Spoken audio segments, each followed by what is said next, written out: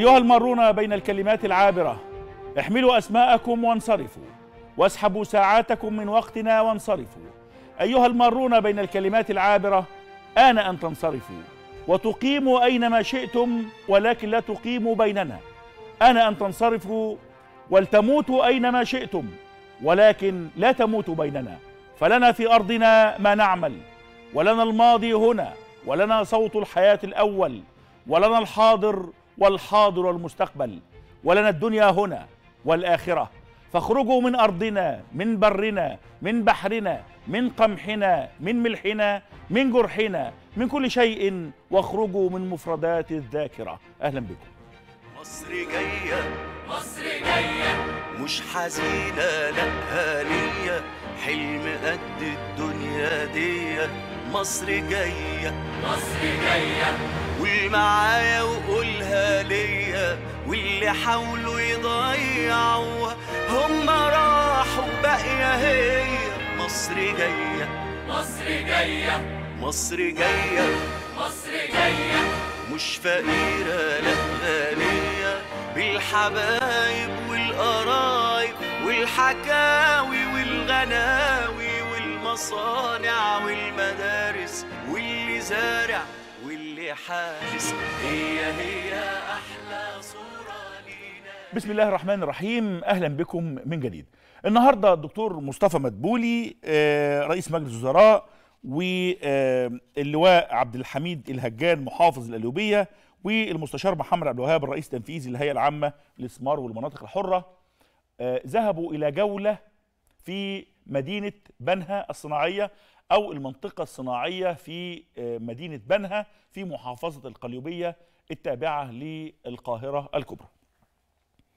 الجديد هو إنه آه، الدولة آه، وضعت ملف الصناعة على جدول أولوياتها كنا بنتكلم خلال الفترات الماضية على مشروع الطرق وعلى مشروع البنية التحتية والطاقة الكهربائية والغاز توصيل الغاز للمنازل الغاز للمصانع هذه التجهيزات المبدئية لانطلاقة ما. هذه الانطلاقة هي انطلاقة زراعية وانطلاقة صناعية. النهارده رئيس مجلس الوزراء مع رئيس الهيئة العامة للاستثمار والمحافظ الإقليم اللي هو في آه، القليوبية راحوا يتفقدوا المنطقة الصناعية في بنها. إيه الجديد اللي أنا عايز أقوله؟ ما كان لهذه المناطق إن هي آه، آه، تخرج للنور لولا وجود بنية تحتية وبنية أساسية قامت بها الدولة على مدار السنوات القليلة الماضية. النهارده آه، كان فيه آه، تصريحات مهمة جدا لرئيس الوزراء ورئيس الهيئة العامة للاستثمار المستشار محمد عبد الوهاب إنه فيه منطقة استثمارية في كل محافظة. يبقى كل محافظات الجمهورية كل محافظة سيكون لها منطقة استثمارية. آه، رئيس الوزراء اتكلم على قيام الدولة بمجهودات واضحة في مجال تقليل دوائر الوسطاء بين السلع في أماكن إنتاجها أو الصناعات في أماكن تصنيعها وما بين المستهلك النهائي. تقليل دوائر الوسطاء أدى إلى تقليل أو ضبط منظومة الأسعار. أعتقد إحنا ملاحظين خلال الفترة الماضية أن هناك ضبط لعملية الأسعار. ده مش صدفة ده نتيجة حاجتين. ضبط الدولة وقيام الدولة بهذه ال- ال- ال- العملية وهذه الوظيفة المهمة للغاية الرقابة على الأسواق. اتنين تقليل آه، مراحل الوسطاء أو نقل السلعة من مكان إلى مكان. النهارده كان فيه آه، 13 مجمع صناعي آه، فيهم 4500 مصنع. كلمة مصنع دي معناها أيدي عاملة. أيدي عاملة يعني بيت بيتفتح. بيت بيتفتح يعني أسرة جديدة. أسرة جديدة يعني في إنفاق جديد. إنفاق جديد يعني عجلة الاقتصاد بتدور. ده المهم جدا. النهارده في بنها في على على 46 فدان آه، تم إقامة 187 مشروع آه، بتكلفة استثمارية واحد واحد من عشرة مليار آه، جنيه يعني 1100 مليون جنيه. دول هيوفروا 3500 آه، فرصة عمل. 3500 أسرة. 3500 شاب هيشتغل وهيبدأ يبدأ حياته ويعيش في جو من الاستقرار نتيجة قيام الدولة بتجهيزات أدت إلى دخول المستثمرين في مشروعات 187 مشروع. واتكلم رئيس الهيئة العامة للاستثمار قال لي في سبعة مناطق استثمارية على 2000 فدان بتكلفة استثمارية 29 ونص مليار قول 30 مليار جنيه. هيتعمل فيهم 800 مشروع ويشتغل فيهم 75 ألف عامل. آه، لكن في حاجة في حاجة غريبة جدا النهارده في الخبر. يعني زمايلي جايبين الخبر مدبولي نستهدف إقامة منطقة استثمارية في كل محافظة. ده العنوان يعني. ده العنوان إن هيبقى فيه في كل محافظة منطقة استثمارية. وأنا قلت شوية أرقام على المشروعات اللي داخل آه، آه، بنها وغيره. لكن أكتر أكتر سطرين يعني لفتوا انتباهي آخر سطرين في الخبر. وفي نهاية الجولة وفي نهاية الجولة كلف رئيس الوزراء بسرعة الانتهاء من رصف الشوارع المؤدية للمنطقة الاستثمارية وكذلك الطرق الداخلية بها. والله عيب. طب والله عيب. يعني رئيس الوزراء راح يشوف المصانع والمنطقة صناعية واستثمارية ومليارات وواحد وواحد عشرة مليار وإلى آخره والطرق المو... الشوارع الداخلية اللي تودي للمنطقة الاستثمارية والطرق الرئيسية اللي بتودي ليها مش شغالة. يعني أي يعني أي تخطيط يعني. يعني ما هو برضه ما يعني يعني إحنا الحاجة الدولة عملت هذا العمل ال- ال- العظيم إن أبني منطقة استثمارية في بنها فيها كل هذه المصانع بتكلفة استثمارية واحد واحد من عشرة مليار جنيه يعني مين مين المسؤول إنه يوصل طريق من الطريق الرئيسي للمدينة الصناعية؟ مين اللي مسؤول عن رصف؟ يعني حاجات بسيطة هي دي بقى اللي المفروض خليه العمل. أنا آسف يعني ومحدش يزعل مني ومحدش ياخد كلامي على محمل آخر يعني مش عارف أقولها ولا أقولهاش والله. يعني أنا ده ما بيحصلش في أي مشروع بيقيمه القوات المسلحة. ال ال ال الملاحظة اللي قالها رئيس مجلس الوزراء الأستاذ الدكتور آه، آه، مصطفى مدبولي ملاحظة في محلها يعني أنا أنا مش جاي بدور على حاجة وحشة بقول لكن أنا بقول يا جماعة إحنا بنروح مشروعات ضخمة جدا بتقيمها القوات المسلحة على مدار آه، خمس سنوات مشروعات عملاقة عملاقة بشكل واضح جدا الطرق من بره الطريق هو أهم. لن يأتي إليك مستثمر والطريق أي كلام. إزاي أبني مدينة وبعدين أعمل طريق؟ يعني أنا فعلا ده لفت انتباهي. يعني إزاي أبني مدينة آه، آه، صناعية واستثمارات ومشروعات والمستثمر رايح جاي عشان يشوف مصنعه؟ طب هو رايح جاي عربيته تتكسر طب هيمشي مش جاي تاني. يعني الطبيعي إني أعمل طريق الأول وبعدين أعمل المدينة أنا بقول ومحدش يزعل مني والله أنا مخلصا فيما أقول. كل مشروعات اللي أنا حضرتها في افتتاحاتها اللي وحتى في تجهيزاتها ال- بتاع القوات المسلحة ما فيهاش الحاجات اللي زي دي. عموما خلينا القوات المسلحة دي مش مش ناس من بره. بقول خلينا نعشق خلينا نشبك مع بعض ونقول إن إحنا نشوف إيه اللي بيحصل نتعلم من بعض. ما هو دي الفكرة كلها. كله بيصب في وعاء واحد هو وعاء الاقتصاد القومي المصري. أنا بقول تاني يعني أشيد بتحرك رئيس الوزراء أشيد بتحرك الحكومة أشيد بتحرك الدولة صوب وجهة مهمة جدا اسمها الصناعة. الصناعة قاطرة حقيقية للتنمية. الصناعة هي اللي تقضي على جحافل البطالة اللي وصلت الحمد لله امبارح إلى 8% أو أقل قليلا. يعني الدولة بتطرق أبواب الصناعة بنشيد بدور الحكومة ودور الدولة رئيس الوزراء وبنقول لكل واحد يا ريت يشمر ويمد ايده عشان ما يبقاش فيه أي ملاحظات. آه، موقع RT روسيا اليوم. آه، نشر تقرير عجبني جدا. بيقول مصر بتنطلق وبتعلن عدم استيرادها غاز طبيعي تاني خالص اطلاقا بتاتا البت. ليه؟ قال لك ده مصر بدأت تصدر غاز طبيعي. كانت بتستورد مصر كميات غاز بمبلغ 1125 مليون دولار. يعني مليار 125 مليار وربع دولار خلال عام 2018 قال لك لا ده مصر بدأت تصدر آه، مواد غاز بدلا ما كانت بتستورد بمليار وشوية بدأت تصدر خلال 2019 وداعا لاستيراد الغاز مرة أخرى. ونفس ال- ال- التقرير بيقول إن واردات مصر من الغاز من ال- المواد البترولية كلها حوالي 9.5 مليار آه، 9.5 مليار جنيه دولار. 9.5 مليار بستورد من بره مواد بترولية 9429 مليون دولار. قول يعني 9000 ونص 9 مليار ونص في 2019 آه وكانت بتستورد في 2018 1212 مليار 313 يعني كنت بستورد عشان ما الارقام ما تتوهش الناس كنا بنستورد في 2018 مواد بترولية وغاز وبنزين وسولار وزفت وغيره بكام؟ ب 12 مليار وشويه في 2019 نزلنا في استيرادنا من بره لتسعة ونص. يعني كنت بستورد ب 12 ونص دلوقتي بستورد بتسعة ونص. إيه؟ تسعة ونص مليار. مليار دولار من بره مواد بترولية. بانخفاض 23% وبصدر في 2019 بصدر منتجات ب 4 مليار وشوية. وكنت قبل كده بصدر ب 4 مليار أقل 4% يعني معنى كده إن في تحسن في قطاع البترول في الاستيراد قللت استيراد 23% زودت صادراتي 4.5% ليه أنا بقول الأرقام؟ لما أجي أقول إمبارح معدل النمو يا جماعة 6% خلى مصر رقم واحد في المنطقة متقدمة على تركيا وعلى إسرائيل وعلى وعلى كل الدول رقم واحد في المنطقة. ده مش جاي من فراغ ده جاي من هذه المكونات. مكونات خفض الواردات البترولية زيادة الصادرات البترولية ما عادش بستورد غاز بصدر غاز المناطق الصناعية الجديدة بتشتغل بقلل نسبة البطالة؟ كل المكونات الصغيرة اللي إحنا بنحكيها كل يوم مش مجرد رغي لأ ده كله بيكون بيرسم صورة. الصورة فيها تفاصيل كتير. عشان تقدر تشوف الصورة ابعد بعيد عشان تشوف مكونات الصورة. مش هتقدر تفك رموز أي صورة إلا لما تشوفها كلها متكاملة. أنا بتكلم امبارح على معدل نمو 6% ممكن يكون ناس مش مهتمة بالكلام. لكن أنا بقول إنه ال الاهتمام الحقيقي بهذا الرقم بيعكس في مجمله كل تفاصيل الاقتصاد القومي. النائب العام آه، ال- المصري بيأمر باستكمال التحقيق مع باتريك جورج بتهمة إذاعة أخبار كاذبة.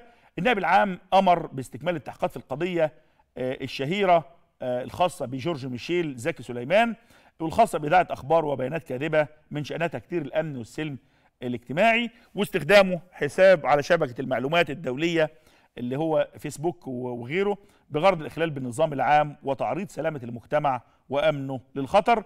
التحريات اللي وصلت لقطاع الأمن الوطني قالت إنه آه، باتريك جورج ده آه، خلال الفترة الماضية وخاصة في شهر سبتمبر وأكتوبر استغل المتهم جورج ميشيل سليمان زكي اللي هو صيدلي مقيم في عمر بن الخطاب في المنصورة قسم تاني المنصورة حسابه على الفيسبوك وبدأ يهاجم الدولة وبدأ يستخدم عبارات مهينة وبدأ يدعو إلى زعزعة الاستقرار من خلال الدعوة لتظاهرات آه، والهجوم على بنايات ومؤسسات الدولة بشكل غير قانوني وهو مقيم في الخارج أثناء دراسته في إيطاليا.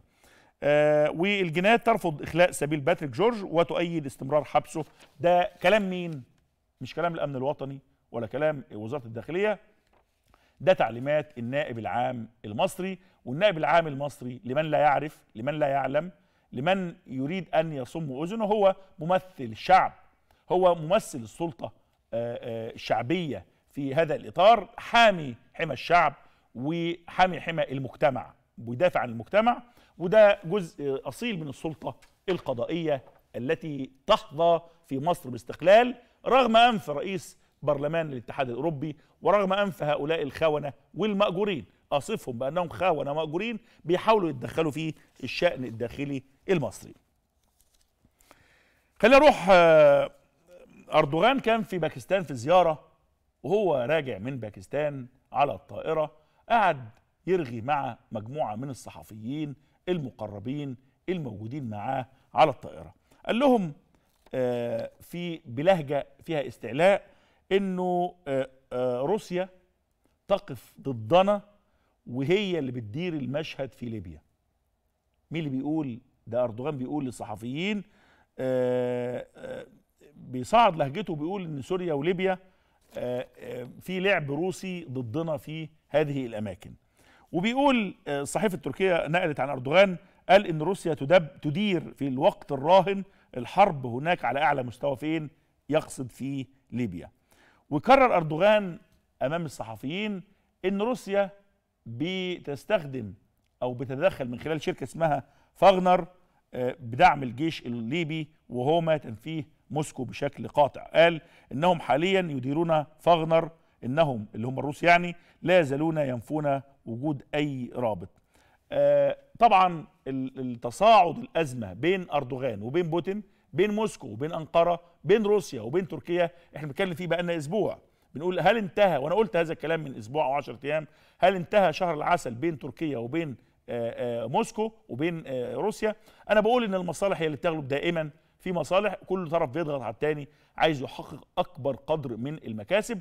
لكن في كل الأحوال هناك شبه قطيعة بين الطرفين آه، أردوغان بيعمق الأزمة بيثرثر بيتحدث كثيرا بيهاجم روسيا بشكل واضح جدا انها عندها شركة للمرتزقة يعني بتضرب بيها المصالح التركية.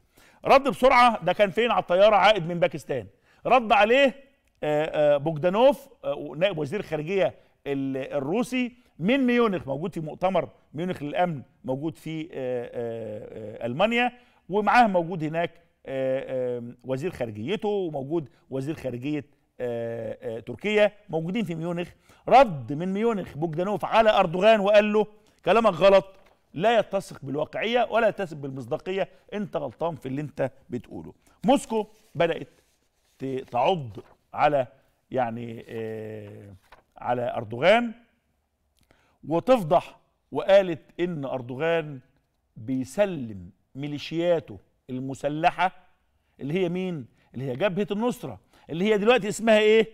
هيئة تحرير الشام فاكرين جبهة النصرة محمد الجولاني اللي هم الإرهابيين اللي تركيا صنعتهم موجودين كانوا في ربوع سوريا دلوقتي موجودين فين؟ في إدلب جيش النصرة جيش جبهة النصرة موجود فين؟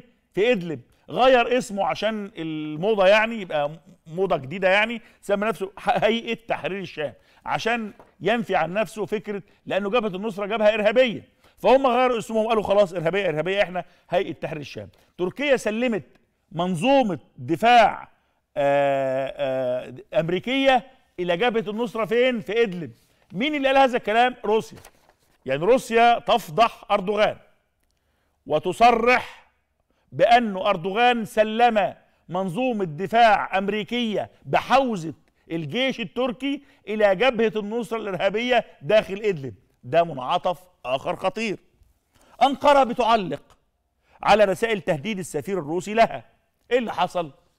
العلاقة بين موسكو وبين آه، آه، آه، أنقرة بقت زي ما إحنا قلنا على صفيح ساخن بدأ المجتمع التركي ال social media حزب العدالة والتنمية والجيوش الإلكترونية والذباب الإلكتروني يتكلم يشتم في مين؟ يشتم في موسكو، يشتم في بوتين، يشتم في لافروف، يشتم في السياسة الروسية، كانوا حبايب امبارح ونشوفوهم يا سلام. يا ريت تجيبي لي يا فريدة والله صورة أردو... آه، أردوغان وهو عمال ياكل آيس كريم مع آه، بوتين في سوتشي. صورة معبرة يعني حاجة بيحبوا بعض. اتنين كده قاعدين في آه، عيد الحب كان اسمه إيه يا ولاد؟ عيد الفالنتاين. قاعدين يعني يعني واحد وخطيبته قاعدين. مين؟ أردوغان مع بوتين. فين؟ في سوتشي. دلوقتي قلبوا على بعض بهذا الشكل. أو هكذا أردوغان ملوش صديق. أو أردوغان رجل بلا مبدأ. أو أردوغان رجل بلا ميثاق. أنا مش بدافع عن حد ضد حد أنا بنقول لكم اللي حاصل إيه. الخلاف كله على إيه؟ روسيا جيشها أو قواتها مش في روسيا بره وتركيا قواتها وجيشها مش في تركيا بره بره فين؟ في أرضنا. أرضنا اللي هي إيه؟ سوريا. يعني هما الاثنين بيتخانقوا بره أرضهم. على حاجة مش ملكهم هما الاثنين وأنا دايما قلت التاجر الروسي مع التاجر التركي الاثنين شطار. على حساب أرضنا فين؟ في سوريا. يعني الجيش التركي موجود في مناطق داخل إدلب.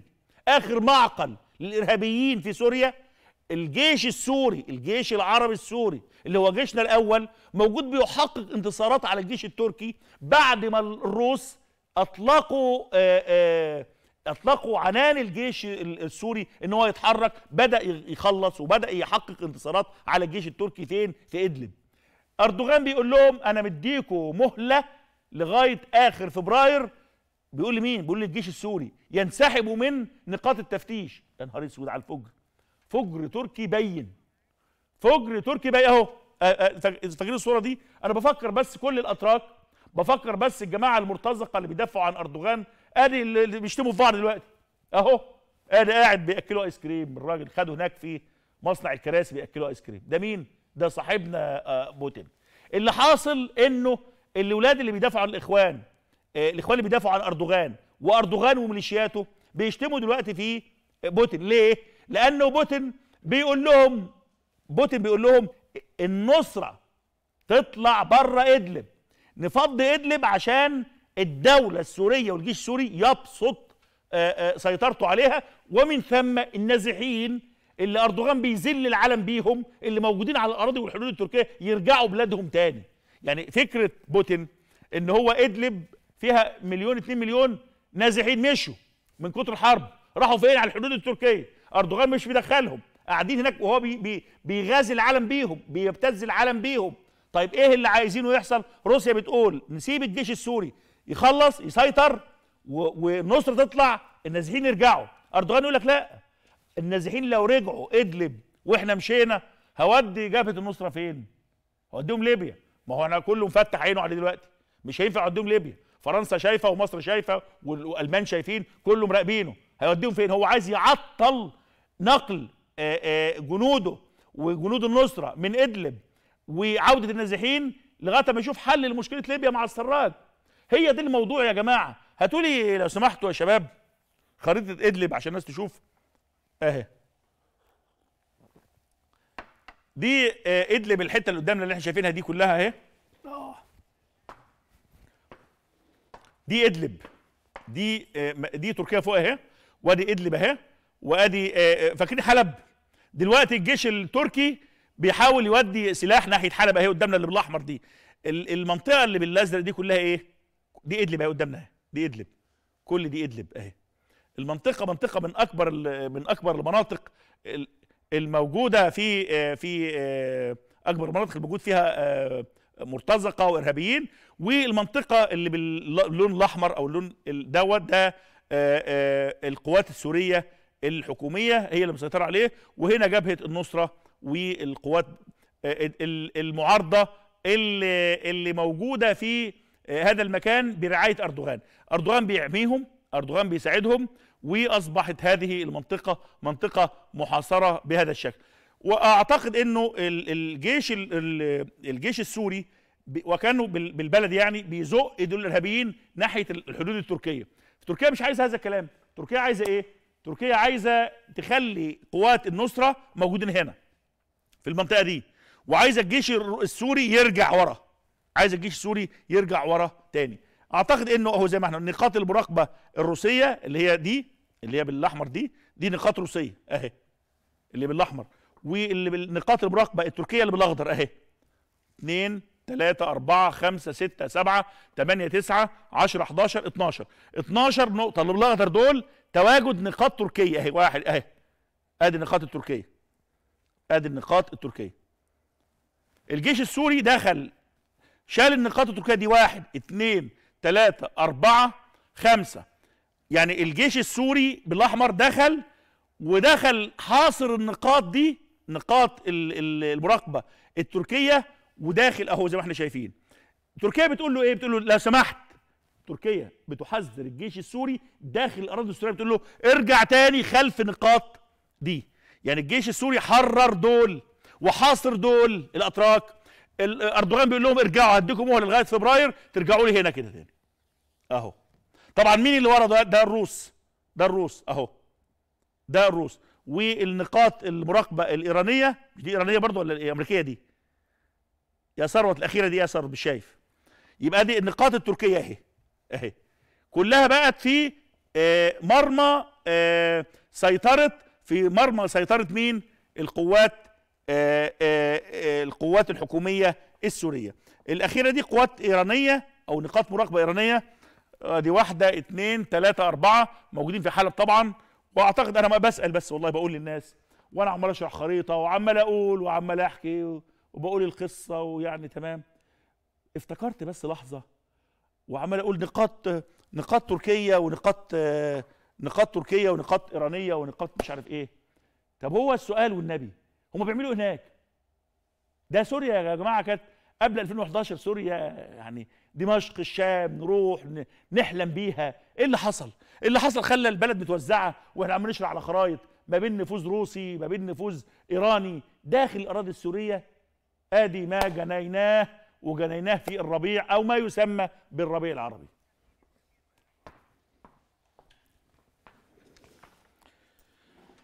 طيب آه، آه، نتيجة هذا الكلام اللي بحكيه والنقاط والسيطرة وتقدم الجيش السوري فالروس الأتراك متضايقين من روسيا فبدأوا يهددوا بدأ الأتراك داخل تركيا يهددوا السفارة الروسية في أنقرة إيه؟ آه بيهددوهم إيه؟ هنولع فيكم هنحرقكم هناك تهديدات تركية من عصابات أردوغانية للسفير الروسي في تركيا بالقتل. بسرعة ال- الجماعة الروس قالوا للأتراك خدوا بالكم أنتوا بتهددوا ودي تهديدات لازم تؤخذ في الاعتبار. أنقرة علقت على الرسائل وقالت إحنا آه، كثفنا الأمن وإحنا واخدين بالنا من هذا الموضوع.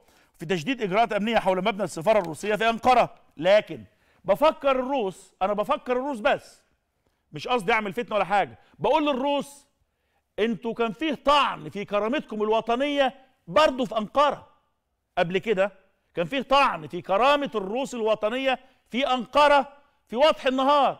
السفير السفير الروسي اللي هو ممثل روسيا القيصرية كان موجود بيخطب في قلب تركيا وقام ضابط أردوغاني إخواني إرهابي الله أكبر وراح ضربه بالنار. شغلها لي يا وليد اهي مؤبدا على الجهاد معه لساعة الله أكبر Bursa Çok Sözlüğü'nün muhtemelen başkanı. Kesinlikle نحن الذين معه مؤبدا على الجهاد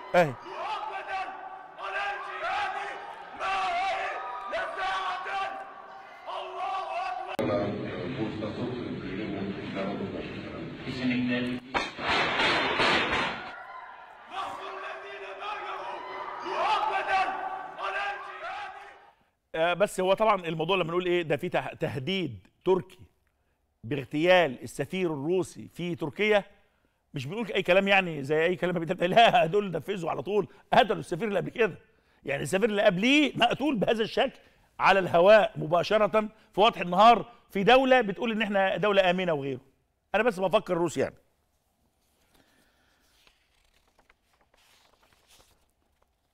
حزب الشعب الجمهوري معرفش يا فريد عندك آه، فيديو ولا لأ؟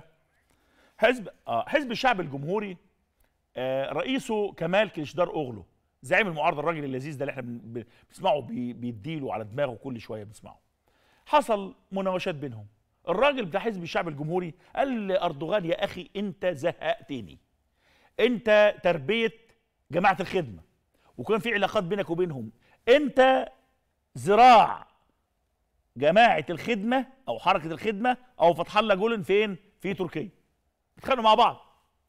فرد عليه رد اردوغان انا şahsiyen والله اتكسف اقوله بس في فيديو عندك يا فريده باين شغلي الفيديو خلي الفيديو يتكلم احسن bir siyasi partinin liderinin bir başka siyasi partinin liderini söyleyip yatak odasına kadar girmişler lafını ne kadar ayıpladığımızı duymaktan utandık. Söylemekten nasıl utanmadı bilmiyorum. Cumhuriyet Halk Partisi çıksa bu lafı mecliste söylese bu meclis tarihinin en büyük kavgalarını yaşar. Kim bilir aşağıda neler olur. آه، قال له آه، أردوغان المع- المعركة الكلامية اللي كانت بين أردوغان وبين كمال كليشدار أوغلو رئيس الجمهورية التركية خليفة المؤمنين الخليفة العثماني الذي يبكي وهو يقرا القرآن والأحاديث ويذهب إلى كل الدول الإسلامية يقول نريد أن نعيد الإسلام مرة أخرى بيكلم رئيس حزب الشعب الجمهوري المعارض الرجل ال ال الذي يقود المعارضة بشرف ونزاهة لما بيقول له انت ذراع جولن في تركيا فرد عليه أردوغان وقال له الذراع في غرفة نومك. اللي الراجل دلوقتي قال إن هذا الكلام يكسف وأنا أخجل إن أقوله. جبنا لكم الفيديو عشان بس ما حدش من هؤلاء يتكلم ويقول أنتوا بت- بتجيبوا كلام. أدي أردوغان وأدي أخلاق أردوغان. أهو نشعر بالخجل لسماع كيف لم يخجل عند قوله وقال هذه الجملة في المجلس. قالها في قلب البرلمان قدام الكتلة البرلمانية بتاعته.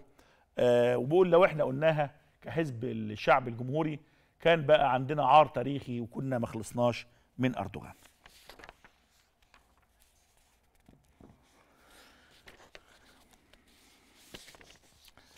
لكن أخطر ما قاله كمال كليشدار أوغلو إنه أردوغان بيقود تركيا للمجهول. وشبه أردوغان بإنه بيقود عربة عربية بلا فرامل.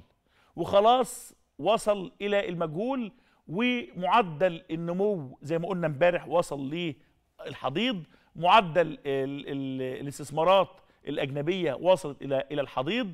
هناك حالة من حالات التفسخ المجتمعي بيقول له انت بتسوق عربية وما معكش فرامل. بيقول لمين؟ بيقول لأردوغان ده مين كمال؟ كليشدار أغلو. أعتقد إنه القادم أسوأ. خاصة بعد إعلان وأنا قلت هذا الكلام الأسبوع اللي فات إعلان أحمد داوود أغلو بأنه بينتوي الترشح لانتخابات الرئاسة في 2023 لكن بمناسبة انتخابات الرئاسة 2023 الانتخابات الماضية اللي نجح فيها أردوغان وكان بينافسوا فيها المرشح آه، التركي اللي بيمثل حزب الشعب الجمهوري محرم إنجا محرم إنشا ده كان آه، آه، مدعوم من كل الأحزاب والمعارضة والتيارات ومحقق يعني نتائج كانت قد تؤهله إلى أن يصبح رئيسا لتركيا. لكن في قصة يمكن لأول مرة بيتم الإعلان عنها. وأول مرة أنا بتكلم عنها لأن دي معلومة يعني لسه خلال ساعات يعني حصلت على هذه المعلومة الموثقة إنه محرم إنجا يوم الانتخابات الرئاسية اختفى الصبح ما ظهرش. كل أتباعه ورجالته والمريدين بتوعه وقرن الحزب دوروا على محرم إنجا قافل تليفونه مش موجود. فين محرم؟ فين محرم؟ فين محرم؟ مش عارفين. هو محرم موجود في دايرة معينة بيلف ولا بيشوف ال ال ال الانتخابات ولا تصويت اختفى. سر اختفاء محرم انجا يوم التصويت ظل حتى أيام قليلة مجهول. محدش عارف إيه اللي حصل. معلوماتي حصلت عليها منذ ساعات ربما إنه محرم انجا تعرض لعملية ابتزاز غير مسبوقة. تم خطف ابنة وزوجة المرشح الرئاسي محرم إنجا خطفوا بنته ومراته عصابات أردوغان. خطفوهم من بيته صبيحة يوم الانتخاب للضغط عليه وابتزازه. إما ان هو آه، آه، يعود مرة أخرى ويعلن مبكرا اعترافه بالهزيمة وبفوز أردوغان قبل إغلاق الصناديق وإلا سيكون هناك اختفاء دائم لابنة أردو ابنة آه، آه، محرم إنجا وزوجته وقيل أيضا بأنه تم ترضيته بشكل أو بآخر ولذلك هذا يفسر اللي بقوله مش كلام من عندي بيفسر ليه غاب محرم إنجا آه، ست ساعات من بدء التصويت وليه استبق النتيجة الرسمية وأعلن إنه انهزم وأعلن وأقر بهزيمته بل وأعلن إنه أردوغان هو اللي فائز قبل أن ينتهي الفرز. دي معلومة مؤكدة موثقة. أنا بزعها لأول مرة وبقول إنه تم خطف المرشح آه، آه، ابنة وزوجة المرشح المنافس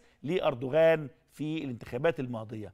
أنا بقول هذا الكلام وهذا كلام الأتراك العالمين بواطن الأمور اللي في الأحزاب السياسية المعارضة داخل حزب أردوغان بيعلف بيعلموا هذا الكلام ويعرفوه.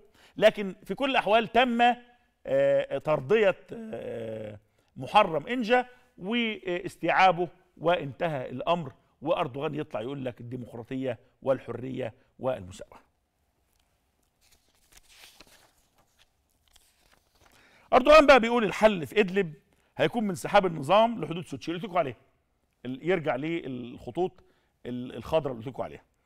آه وبيقول النوم في سلام أردوغان النوم في سلام حرام علينا حتى تخليص سوريا من ظلم النظام والمنظمات الإرهابية. والله العظيم والله العظيم هذا الرجل فاجر. هذا الرجل فاجر. بيقول النوم في سلام حرام. يعني ال- اللي ينام حرام عليه. لغاية ما نخلص على النظام السوري. النظام السوري كان شوفوا يا ريت يا فريدة تجيبي لي صورة أردوغان وامينه مراته وبشار الأسد وأسماء مراته وهم برضه عاملين أزاز لب مع بعض وسعداء جدا جدا عيلة مع بعضينا أسرة مع بعضينا. كان قاعد مع أردوغان مع مع بوتين بياكل آيس كريم. وشوفوا ما كان قاعد زمان بي كان بيكلم بشار الأسد الأخ والصديق والرفيق بشار الأسد.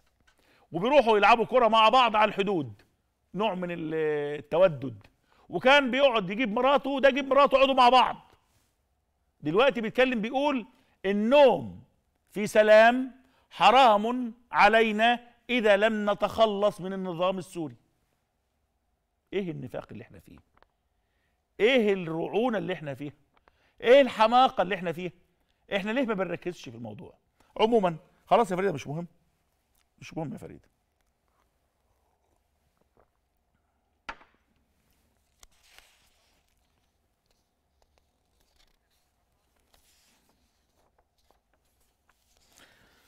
وزير خارجية قطر بيؤكد في ميونخ موجود في ميونخ.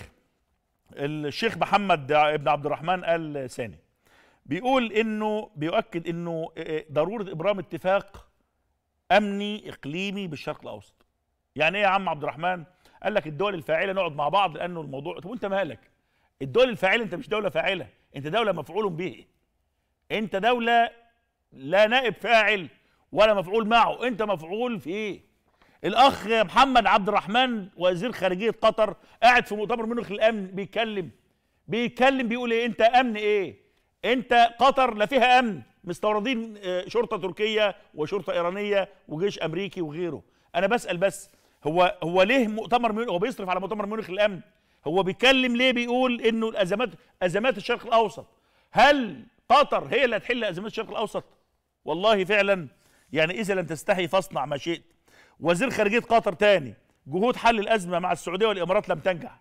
طب أنت إيه اللي جبته جديد؟ الأزمة الخليجية. إحنا بيقول لك تعليق الحوار خلاص وقطر هي والله نفسها ده الجزيرة اللي بتقول قطر نفسها تصلح وتصالح لكن الدول التانية متعنتة. لكن أنا بقول لل بقول لمحمد عبد الرحمن وبقول لأميره بقول لهم هو الشاعر مشعل العكروم المري فين؟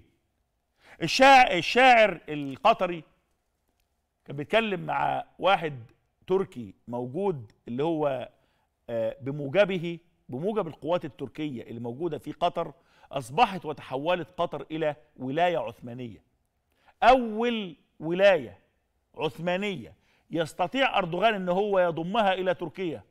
في مشروعه العثماني الجديد هو ضم آه، آه، إمارة قطر أو هنسميها ولاية قطر زي ما حاول في أرض الصومال ولاية الصومال وحاول مش عارف فين وفين بيحاول يشتغل لكن إحنا ليه بالمرصاد فاضحين وكاشفين.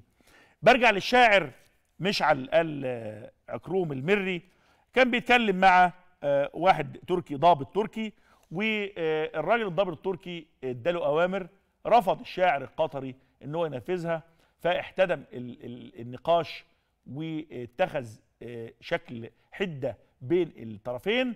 آه، رفع الراجل التركي سلاحه وضرب الشاعر القطري مشعل آل عكروم المري بالنار وكل اتكتم عليه. ما حدش اتكلم عليه والسلطات القطرية سكتت لكن المدونين آه، ما سكتوش. وال social media فضحت قطر وأمير قطر وقالت متعب ال- البامي بيقول طفح الكيل من تصرفات الجيش التركي العنجهية والله ما يحبون العرب ويبون دمرنا والله وبالله بيجي يوم قريب نستغيث ونطلب العون من سلمان الحزم أن يدخل علينا درع الجزيرة وتطرد المحتل التركي ونعيد معركة الوجبة آه، آه، الثانية. تركيا تقتل شاعر قطري مشعل آل عكروم. الله يحفظنا ويحفظ شعب قطر. أمال فين يا فريدة التويتات دي يا فريدة؟ التويتات ضاعت ولا يا فريدة؟ يا فين يا فريدة التويتات راشد الخلدي بيقول سؤال من أهم آه، من أهم المواطن أم الدخيل؟ المواطن طبعا إلا في قطر المواطن مشعل آل عكروم المري ضابط في قطر آه، آه، عشق تراب أجداده وكانت نهايته على يد أتراك في قطر. دفنوه بالليل وكأنه ماله أهل. وحين احترف رئيس الوزراء القطري آه، احترق رئيس الوزراء القطري وقال الله يستر على عيالنا من الأتراك عزلوا تميم. اهي دي دي طفح الكيل من دي خلاص شلناها بقى خلاص يا فريد خلاص. اللي بعدها اللي بعدها يا جماعة عملكم ارتبكتوا ليه يا شباب؟ في حالة ارتباك عندكم ليه؟ هو أنتوا خضيتوا من مقتل الشاعر القطري؟ ما هو قطر كل يوم بيموت فيها حد. أهو واحد ده الراجل ده كلامه مهم جدا. بيقول لك بيقول لك طرد أجداده الغازي التركي واليوم تميم بيشوف بعيونه جثمانه الممزق. من غدر الأتراك في قطر ولا يستطيع ي- يتكلم. أي اختراق مثل هذا الاختراق يا ناس؟ تركيا تقتل شاعر قطري. آه واحد تاني بيقول للأسف وصلنا لمرحلة أن يسفك أن يسفك دم خليجي آه آه على يد أحد مرتزقة أردوغان. آه عليها ألف لعنة مش على ال عكروم. هل أصبح الخليجي يستباح دمه وسط أرضه ويكرم القاتل؟ إلى أين تذهبون؟ دي آه، في تاني. محمد بن سعد الدستري بيقول علمنا يا رويبضة ما آخر نتائج التحقيقات في مقتل الشاعر مش على آل عكروم الذي قتل على يد علوج الأتراك في وطنه المحتل قطر غيره. آه، محمدين آن الأوان للشعب القطري أن يثور في وجه نظام الحمدين الإرهابي والأخذ بثأر المواطن مش على آل العكروم من الترك المحتل تركيا تقتل آه، شاعر قطري. آه، راشد الخلدي بيقول سؤال من أهم المواطن أم الدخيل دي أنا بعيدها تاني. هم مش مركزين معايا بس أنا عجباني يعني. المواطن طبعا إلا في قطر. المواطن مشعل آل عكروم المري ضابط في قطر. عشق تراب أجداده وكانت نهايته على يد أتراكه في قطر. ودفنوه بالليل وكأنه مال أهل. وحين احترق رئيس الوزراء القطري السابق طبعا وقال الله يستر على عيالنا من الأتراك عزله تميم.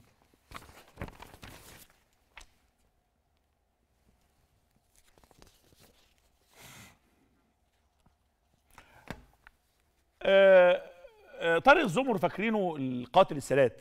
طارق الزمر المفروض أنا كنت أنتظر وأتوقع إنه آه، يخرج علينا ويعتذر بعريضة اعتذار عما اقترفت يداه من قتل ودماء في رقبة طارق الزمر دماء أبرياء.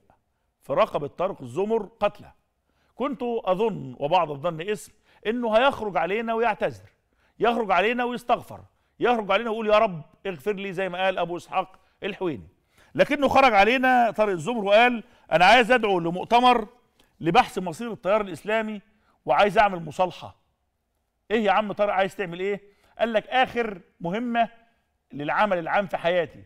عايز أعيد تقديم التيار الإسلامي. أهو قال بالظبط أهو. أدعو الحركات الإسلامية لإيجاد أشكال جديدة للوجود واعاده ترتيب أوضاعها وبرامجها لاستمرار عملها وتحقيق أهدافها. يدعو الحركات الإسلامية لإيجاد أشكال جديدة للوجود. يعني أنتوا شكلكم كان بدقن وجلابية نغير. شكلكم كان مش عارف بإيه نغير. ده مين اللي بيقول؟ ده طارق أهو. ده طارق. ده طارق لابس ال- البريل الفرنساوي ولابس الفيست أهو قدامنا وعايش واد متفرنج يعني. اللي قدامكم ده يا جماعة قتل الرئيس سادات.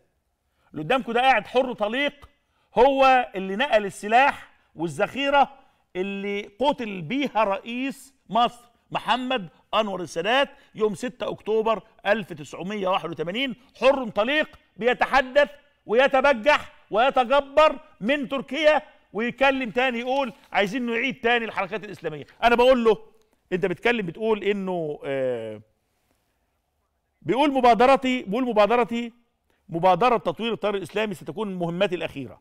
مبادرتي لم تكن مجرد تعبير شخصي بل توجه يتنامى. الظروف والملابسات لا تتيح للتيار الإسلامي الحكم منفردا. هو التيار الإسلامي هو أنت بتدعو الله عايز تحكم. أنا بسأل بس. يعني أنا أنا أنا بسأل. خليه بس أقول لطارق الزمر وكل طارق الزمر وعبور الزمر اللي موجود هنا حر طليق برضه.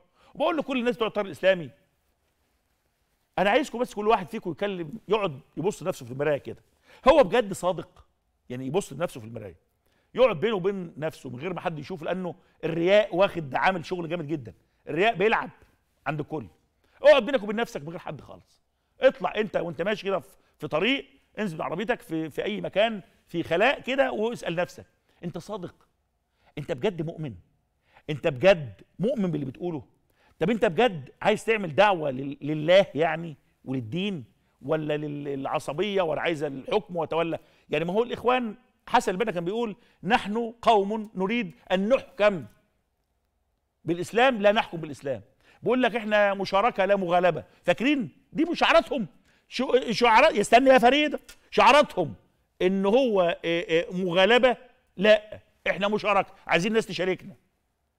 هو ده الكلام بتاعهم. هل ده تحقق يعني امال السلاح اللي حصل وطلع في رابعه وفي النهضة وفي مسجد مش عارف إيه وفي مسجد إيه والناس والدماء اللي راحت دي واللي قتلوهم ده قتلوا حسن البنا. أنا بسأل بسأل سؤال بسأل كل الفقهاء الموجودين. كل الفقهاء اللي على ظهر الأرض هل الدين الإسلامي في أحد آه، آه، مصادر الفقه أو الأحاديث أو الآيات أو غيره التفسير الصحيح مش المختل مش الشاذ بيحض على قتل الأبرياء؟ بالتأكيد لا. بالتأكيد أنت اللي فاهمك شاذ. أنت اللي فاهمك معوج. واحد يقول لي يجيب لي يفسر حديث على مزاجه وبعدين يضل الناس بيه. زي ما قال لك خلافة عاضه ومش عارف بعدها إيه وإيه. تطلع الست تسيب عيالها وتطلع هناك تحارب عشان تاخد الخلافة زي الشيوخ ما قالوا لها. يطلع العريف يقول لك الجهاد في سبيل الله. الحق يلا العيال تطلع تسمع الكلام وتروح. يروحوا هناك يرموا نفسهم للتهلكة. هو ده ده اللي إحنا بنقول عليه. يعني لما قلنا أبو إسحاق اعتذر. اعتذر عليه محمد ناصر والفرقة كلها عمالين يتكلموا. يقول لك اعتذار اعتذار اعتذار اعتذار. أنا بقول للناس انتبهوا. أنت ممكن تضحك علينا شوية. ممكن تضحك على الناس بالمناسبة. وأنا بسأل الشيوخ دول كلهم أنتوا أنتوا عايزين تكسبوا الدنيا والآخرة مع بعض الاثنين يعني كل شيخ من هؤلاء أهو قاعد قدام قاعد فين؟ قاعد في تركيا والتاني قاعد في قطر والتالت قاعد فين؟ و و وعندهم عربيات وعندهم فيلل وعندهم فلوس وعندهم وعندهم وعندهم. ده كل شيخ حتى هنا في مصر. كل شيخ من المشايخ موكب موكب عربيات. والله العظيم كل المشايخ. اتفرج عليه. موكب الشيخ وصل الشيخ راح الشيخ جه والناس تاخده تشيله فوق دماغهم ويحطوه. يقول لك ده عالم. جواز تقبيل يد العلماء. ماشي يا عم. ولما يجي رئيس الدولة ولا وزير من الوزراء ماشي يقول لك شوف الموكب شوف التبذير. طب انت يا عم الشيخ ده انت بتقول قال الله وقال الرسول وماشي بموكب. طب انت ليه؟ لما تقولون ما لا تفعلون كبر مقتا عند الله أن تقولوا ما لا تفعلون؟ انت يا عم الشيخ عايز عربيات. ومش عارف إيه وشهرة و- وعز وتمام والى اخره ومتجوز أربع نسوان وعايز تطلع كمان في الجنة تاخد حور عين وتاخد يا عم ترسلك على حل. انت إيه بالظبط؟ انت إيه بالظبط؟ مش إحنا بنتكلم الناس تقشف والصبر والى اخره. انت كده فعلا؟ انت كده فعلا؟ وترجع لما يلاقي واحد يلاقيني وا- والله أنا اعرف ناس يلاقيني كده يقول لك إيه؟ يا أخي اتق الله. أقول له اعمل إيه يعني؟ يقول لك كان صلى الله عليه وسلم بيقعد 40 يوم ال- ال- مش ما بيولعش نار في بيته. ليه؟ قال لك كان أسودين بياكل تمر وميه طب يا عم ربنا وسع علينا إحنا. يقول لك لا تأسى برسول الله. وتشوف هو زي وجد غنيم يقول لك إيه؟ ربنا وسع علينا. بتستكتروا علينا الموضوع ولا إيه؟ يا عم طب أنت حرام عليك وحلال على الآخرين. أنا أفهم. يجي واحد منهم واحد من الناس اللي هم بيسموهم يقول لك يقول لك ده حليق زي حالاتي يعني أو ده راجل مش أخ يعني. ماله يا عم؟ ده راح يخطب. يخطب واحدة حلوة يقول له يا عم دي متبرجة. يقول له أمال تخطب مين يا عم؟ يقول لك أخطب الأخت المنتقبة دي. هو ما يروح يخطب يخطب واحدة ممكن أقول فتاه ليل. إيه اعمل هصلحها أنا بقى. أنا بقى هخليها تتوب. على فكرة اللي أنا بحكيه اللي أنا بحكيه واقع مسكوت عنه ومحدش بيتكلم عنه. كل واحد فيكم اللي بيسمعني سواء تيار إسلامي ولا تيار علماني ولا تيار زفت ولا باب مفيش حاجة اسمها تيارات امبارح والله بسمع فيديو بالليل واحد بيقول لك أنا الأزهر قادم الأزهر قادم. يا عم الأزهر إيه؟ يخرب بيتك. الأزهر ده دين لوحده. هل الأزهر أصبح دينا؟ لا. فوق شوية بقى لا تقول لي السلفية قادمة الإخوان قادمون ال- الأزهر قادم مش عارف مين قادم. أنتوا فرقتم دينكم شيعا. كلهم في النار الا مش ده كلام الرسول صلى الله عليه وسلم؟ هو إحنا هنضيع الدين أكتر من كده نروح فين؟ ولما نتكلم الناس تقول لك أنا أنا كم الشتائم بألفاظ بذيئة نابية لم أكن أتوقعها من أنا السلفي والسلفيين لما قلت على محمد على اسمه أبو إسحاق الحويني إن اعتذارك مقبول. وصل تقديسهم ليه على إنه نبي. وصل تقديسهم لل- للبخاري على إنه نبي. تقديسهم لمش عارف ال- البنا على إنه نبي. يا سيدي العصمة دفنت بوفاة النبي. كل الناس بتغلط. كل الناس بتغلط. ونحن أولى بالدين منكم. لأن إحنا مش طلاب آه، سلطة. أنتم طلاب سلطة. وطلاب عايزين عايزين آه، تزهوا ما قال محمد آه، اسمه إيه؟ أبو إسحاق. عايزين شهرة وبصمتي. مش هو اللي قال وأنا اللي قلت. ولما قلنا أنت اعتذارك لأنك أضليت الناس الناس زعلت وقعدت تشتم فينا يقول لك الحق ضد السنة ومش ضد السنة. لا. لا أنا أحققك أمام الله يوم القيامة وعند الله تلتقي الخصوم. نحن أخشى على الدين مش من الدين. إحنا بنخاف على الدين. منكم أكتر والله من الملحدين. والله الذي لا إله إلا هو. هؤلاء الدعاة أخطر على الدين من الملحدين. ملحد عارف الراجل بيقول لك هو حر. أنت بقى بت بت بتلوي الحقيقة. هات لي يا بنتي فيديو ل- ل- ل- طارق الزمر عشان نخلص. منطقة الإرهاب بمعنى جعله آه، منطقيا وتسويغه حيث لم يدع فرصة للشباب المتحمس والغيور على بلاده سوى العنف الذي يساق إليه سوقا. طيب آه هات لي هات لي في في تويتة عاملها التلفزيون العربي بيقول هل للمرأة الحق في التصرف بجسدها؟ إيه ده الكلام الفارغ ده يا جماعة؟ إيه يا جماعة إيه الأسئلة الفارغة دي يا جماعة؟ أو لسه بعتها لي ثروت، بعتها لي يا ابني. إيه الكلام الفارغ؟ إيه الموضوعات اللي إحنا بنتكلم فيها دي؟ زي ما خرجت واحدة دا بتقول داعية مش عارف إيه تقول لك ب- بعتذر على آه، فتوى بتاع مش عارف مواقعة البهيمة ولا امبارح اتخضيت. اتخضيت والله من من الكلام. كم واحد كم واحد من هؤلاء بيخرج يعتذر؟ بيعتذر أنتوا بتضلوا ناس. أكتر ناس أول ناس هيسعر بيهم الجحيم؟ أئمة ودعاء أئمة ودعاء بيعملوا إيه؟ بيضلوا الناس بيضلوا الناس. أهو هل المرأة الحق في التصرف بجسدها ده ال- التلفزيون العربي. أنا أنا مش قادر أفهم. إيه إيه يا عم عزمي؟ إيه يا عم عزمي بشارة؟ إيه الكلام الفارغ؟ هتودونا فين تاني؟ لما نيجي نقول ثورة دينية يقول لك الحق ثورة على الدين. تجديد يقول لك عايزين نغيره يا عم بيغير إيه؟ عايزين نغير أفكاركم أنتوا طريقة تفكيركم. اوعى تحجر على فكري نفكر. إحنا زهقنا نفاق وزهقنا وشين. يقول لما تقولون ما لا تفعلون؟ أنا عندي ناس كان يقول لك اوعى تروح الكنيسة. ليه يا عم؟ اللي يروح الكنيسة يبقى كافر. يا عم إزاي؟ يقول لك أقول له يا عم راح اهني اخويا أقول له كل سنة طيب وأقول له كذا واقول له كذا ونفرح مع بعض. يقول لك اللي يروح الكنيسة يبقى كافر. يا عم إزاي؟ يقول لك اوعى تسلم على واحدة متبرجة. يا عم إزاي؟ ده إحنا وأنا بسلم عليها يعني لما بسلم عليها بإيدي حصل يعني عملية آه، آه، نشوة يعني. يقول لك لا اوعى. ده انت تروح في جهنم لو عملت كذا كذا. إيه يا عم النفاق اللي انت طب هو بي هو الراجل بيشق عليا يعني؟ يعني يقول لي ما- تسلمش على واحدة متبرجه أقول يمكن الراجل ده وصل لمراحل تقوى الأنبياء تفلت من عصر الصحابة. ماشي يا عم حاضر. ماشي يا سيدي. اعمل انت كده. اوعى تروح كنيسه أقول يا عم ما تروحش انت سيبني أنا أروح. وفجأة بالآتي هاتي لي يا بنت الفيديو. هاتي لي يا بنت الفيديو. أختي سناء تسأل عن حكم زيارة الكنيسة للسياحة.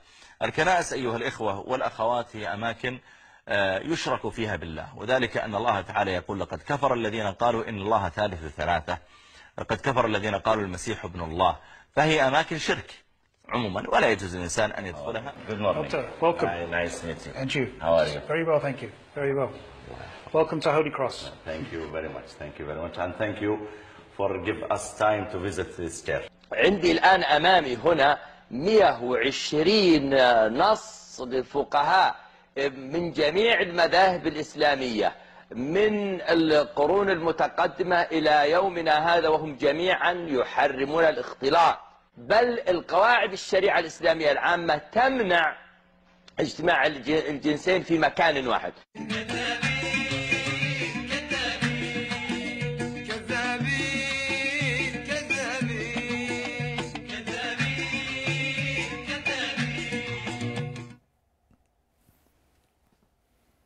أنا مش ماليش تعليق.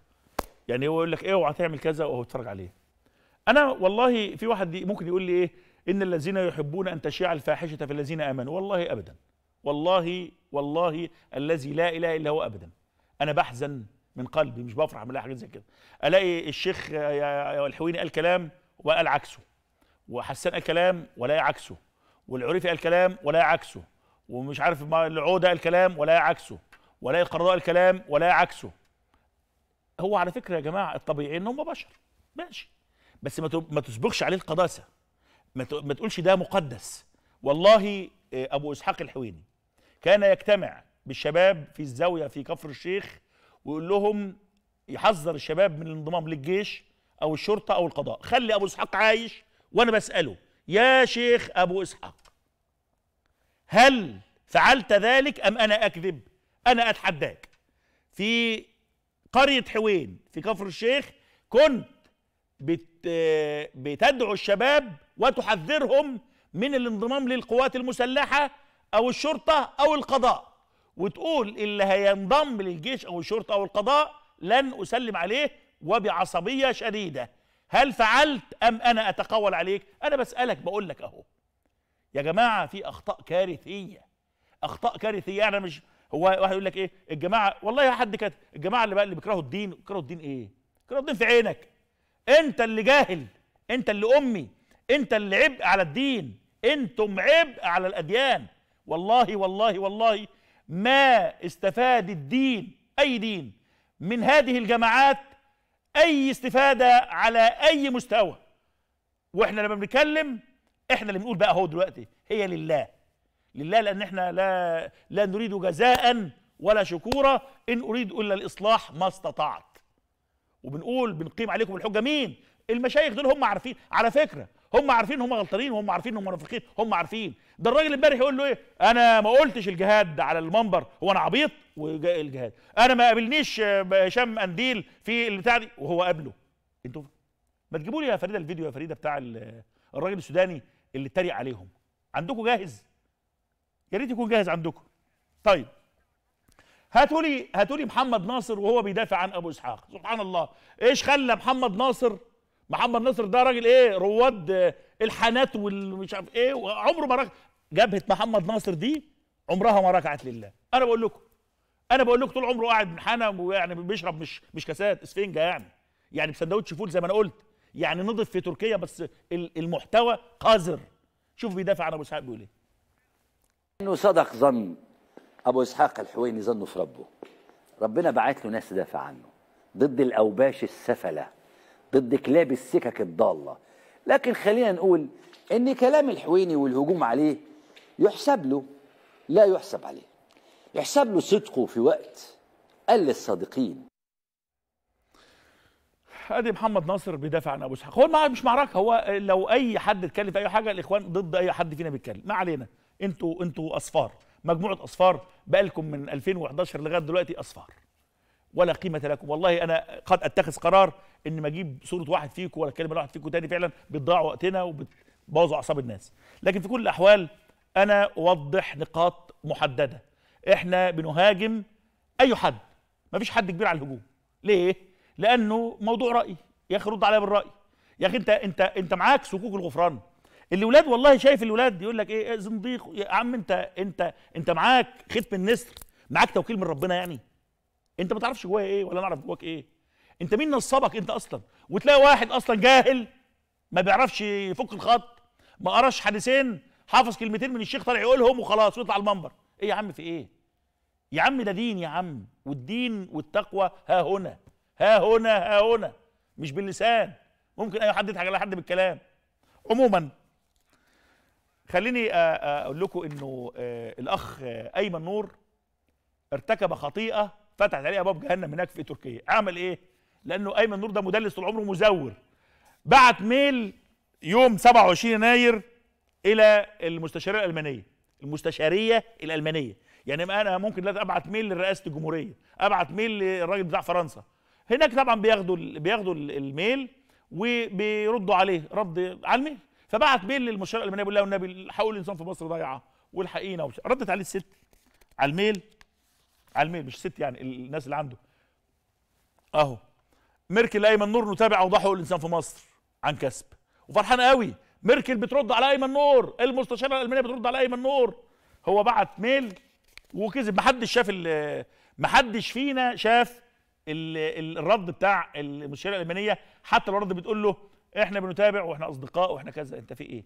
ده الكلام ده لعربي 21 تعالوا شوفوا بقى الجماعة بتوع الإخوان بيتريقوا عليه بيقولوا إيه؟ هات الواد الواد عمرو عبد الهادي.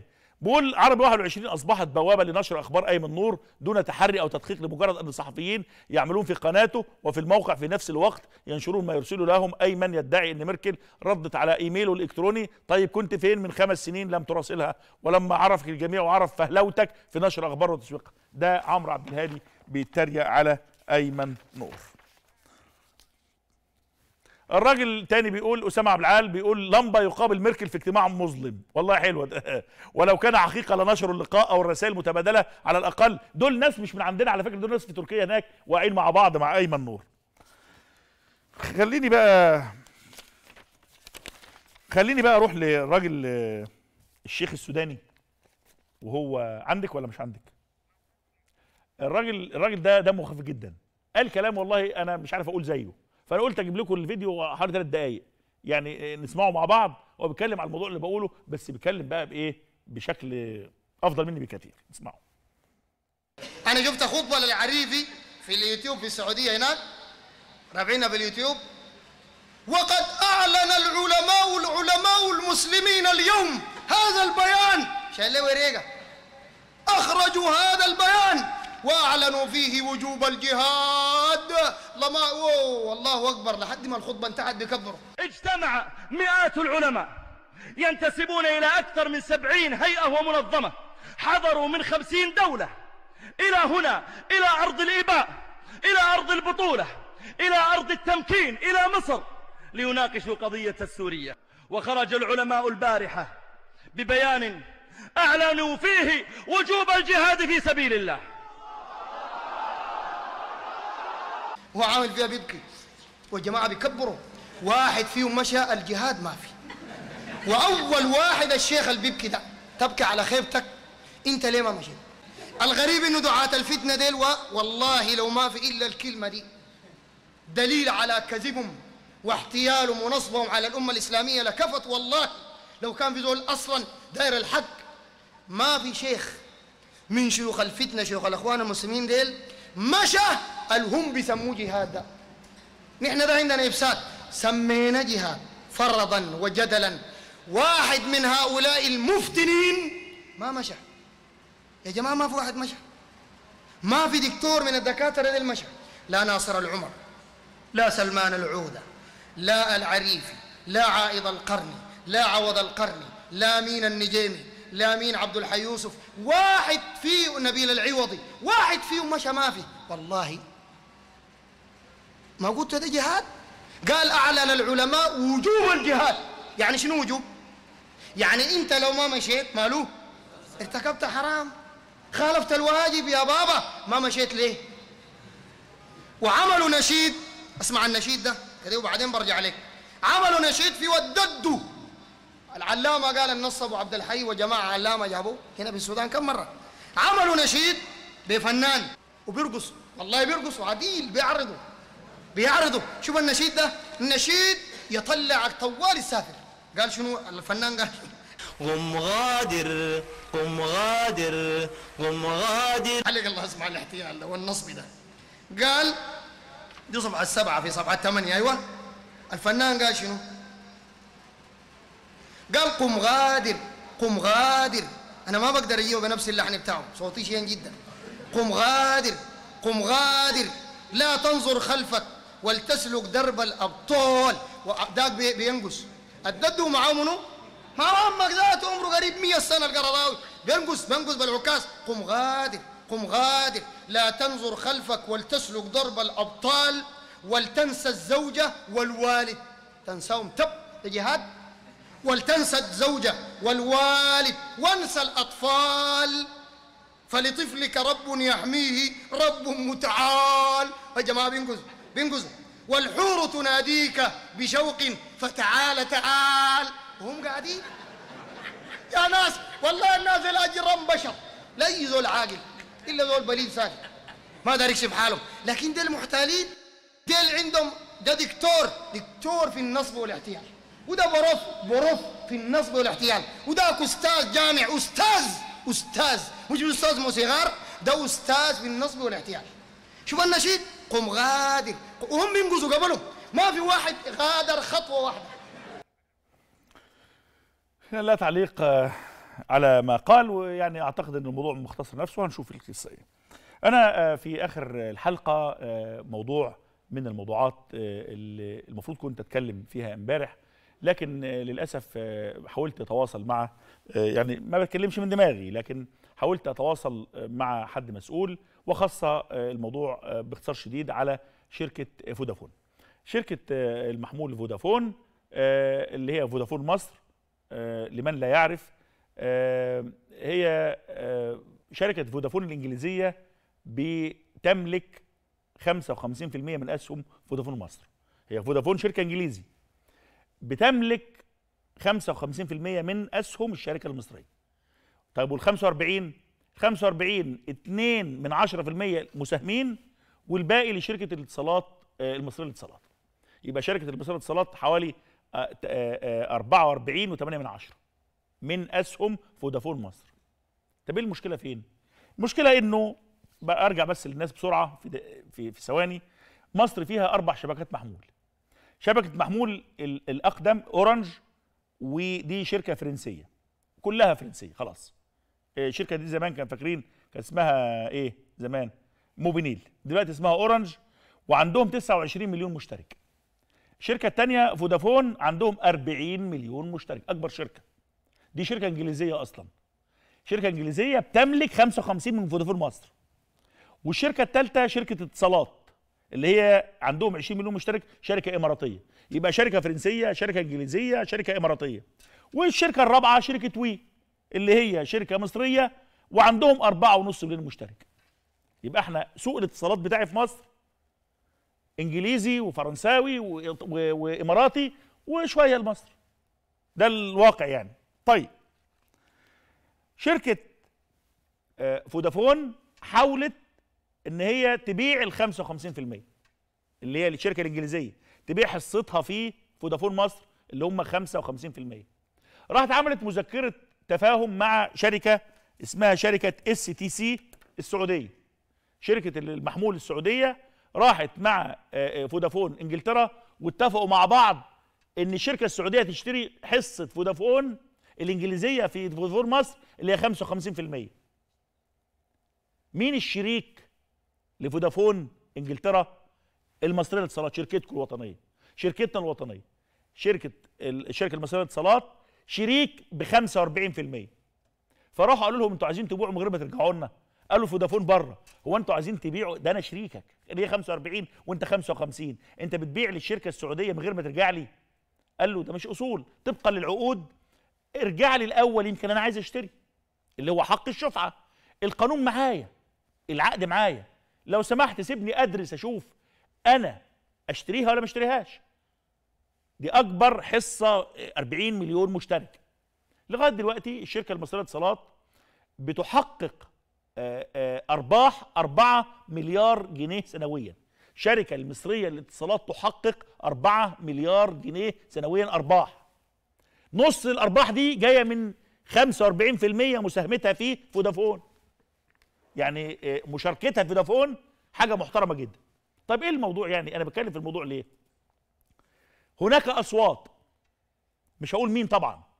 أصوات ناس إما مش فاهمين وإما فاهمين ولهم مصلحة. أنا ما أعرفش. بس الخلاصة اللي اتقال غلط. قالوا إنه ليه الشركة المصرية للاتصالات عايزة تشتري حصة فودافون؟ ليه؟ المفروض تبيع حصتها أصلا. المفروض ما ما يبقاش تكوش. ده اسمه احتكار. ده اسمه غلط ده اسمه فساد ده اسمه إيه؟ وبعدين المصريه للاتصالات شركه خسرانة وعليها 15 وخسرانه 15 مليار آه، جنيه والمفروض الشركة السعودية هي اللي تشتري وده نشجع الاستثمار كلام من هذا القبيل.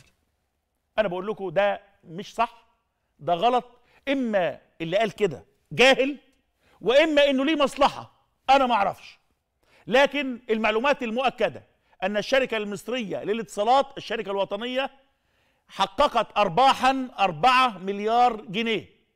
وكلمة عليها آه، آه، كلمة إن هي خسرانة 15 مليار كذب وافتراء على شركة وطنية المفروض بنشجعها وبنقف جنبها. ما ينفعش أقول على شركة كسبانة خسرانة لأن ده بيؤثر على سمعة الشركة بيؤثر على مصداقية الشركة بيؤثر على عملاء الشركة. فأنا تاني بقول تاني وأنا كلمت وزير الاتصالات امبارح الدكتور عمرو طلعت واتناقشت معاه وقال لي إحنا كل اللي عملناه المصرية للاتصالات طلبت من فودافون إنجلترا لو سمحتوا إحنا شركائكم. إحنا قد نكون أولى ومن مصلحتنا إن إحنا نشتري الحصة بتاعتكم مكان الشركة السعودية. فإدونا فرصة. الناس قالوا ماشي. فالوزير بيقول لي كل الخيارات مفتوحة قدامنا. جايبين بيوت خبرة تدرس للشركة المصرية للاتصالات. لو اشتروها أحسن ولا المستثمر السعودي دخل أحسن؟ في خيارات موجودة لمصلحة الشركة اللي هي مالنا كلنا. اللي هي حقنا كلنا اللي هي بتاعتنا كلنا. المفروض ما اجريش أنا اسبق الاحداث واقول المصريه للاتصالات غلط وانت عايز تستحوذ على السوق وعايز تحتكر. حضرتك مش فاهم. اللي بيقول هذا الكلام جاهل بالاقتصاد لأنه الممارسة الاحتكارية غير الملكية. طب أنتوا كنتوا فين بلسنتكم الطويلة دي لما كان مصر كلها شركة محمول واحدة اسمها أبو منيل ما قلتوش احتكار ليه؟ ما قلتوش احتكار ليه ساعتها؟ أنا بقول تاني لابد من ضبط الأداء الإعلامي أو غير الإعلامي أو السوشيال ميديا أو غيره لأنه إحنا بنتكلم في شركات وطنية ملك للدولة المصرية ملك للشعب المصري مش من حق حد يطعن في الشركة مش من حق حد يقول إن هي خسرانة بالكذب مش من حق حد إن هو يسبق الأحداث ويقول احتكار. أنت مش جهة اختصاص مش جهة مش جهاز حماية المنافسة. بقول تاني إنه عيب عيب عيب والله أنا مكسوف إن إحنا نلاقي حد بيتكلم بيشجع إن شركة مصرية وطنية تتباع لحد حتى لو كانت دولة شقيقة زي السعودية والإمارات حتى لو كانت بقول تاني بوضوح شديد حتى لو كانت دولة. على رأسي من فوق السعودية والامارات على رأسي لكن أنا بلدي أولى ناسي أولى شركتي الوطنية أولى أكبرها تا... تاخد حص- حصتها من السوق إن شاء الله تاخد 50% من السوق مفيش حاجة اسمها ممارسة احتكارية وأنا بقول تاني والله اللي بيتكلم كده عيب عليك عيب عليك لأنه مصر هي الأبقى ومصلحة مصر هي الأهم. ما عنديش كلام تاني أقوله. دمتم في أمان الله.